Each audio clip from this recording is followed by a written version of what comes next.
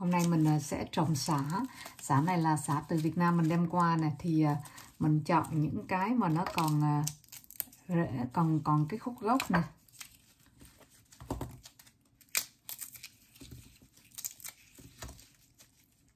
Bây giờ trồng thì nó mới kịp mùa hè. Mình mới có xả ăn.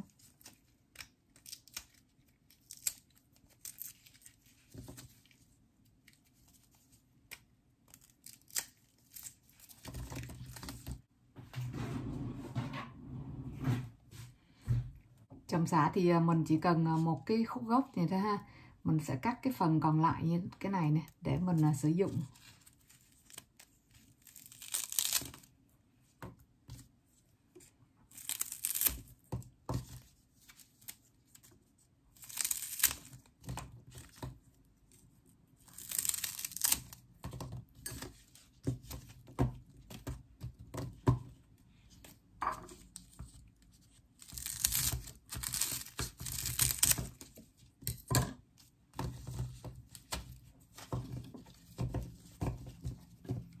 Mình cho vào một cái cốc thủy tinh.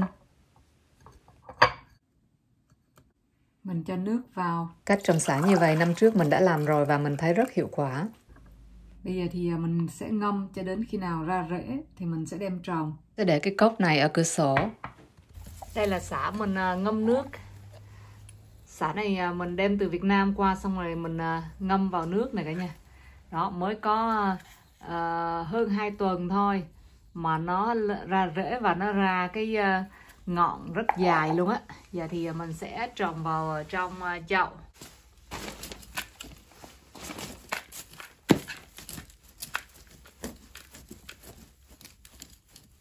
Chậu này thì năm trước mình trồng khổ qua nè. Bây giờ mình trồng tạm cái xả này vào đây ha. Rồi đến lúc mà ấm á, thì mình sẽ đem bụi xả mình trồng xuống đất. Trồng xuống đất thì nó sẽ nhảy nhánh à, nhanh hơn.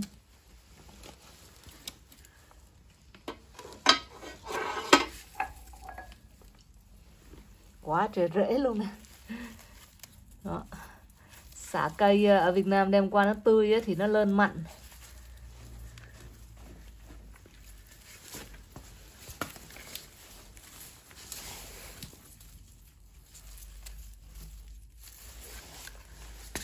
Chắc là mình ờ, để như thế này luôn.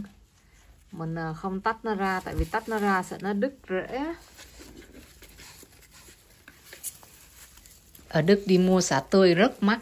Khi mà mình vào trong siêu thị Đức á, mình mua ờ, uh, 3 tép xả thôi. Người ta cứ bán một gói 3 tép nhỏ xíu thôi là 1 euro 50 tức là khoảng ờ, 40.000 đồng Việt Nam mình á. Thì uh, nếu như mà mình nấu một cái món gì đó cần nhiều xả thì mình cần phải tới hai gói ba gói xả tức là phải tốn khoảng 100.000 đồng từng xả.